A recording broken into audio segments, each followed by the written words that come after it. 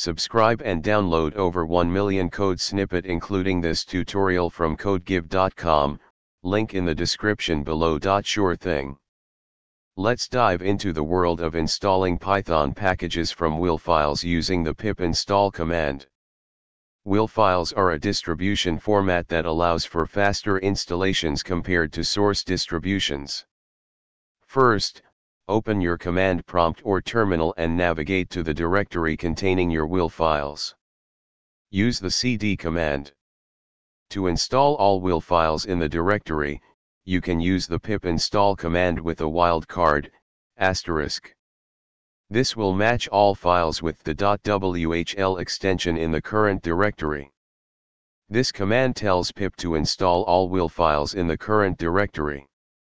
After the installation completes, you can verify that the packages are installed by running. This will display a list of installed packages, and you should see the ones you just installed. Let's create a simple example.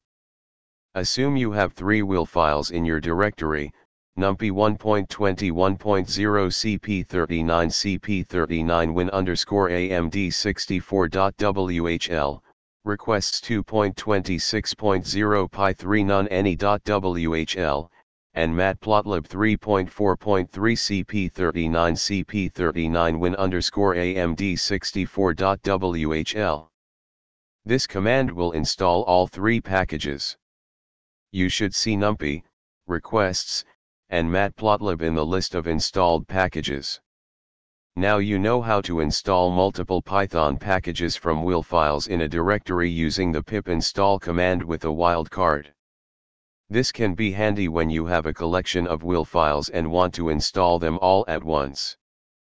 ChatGPT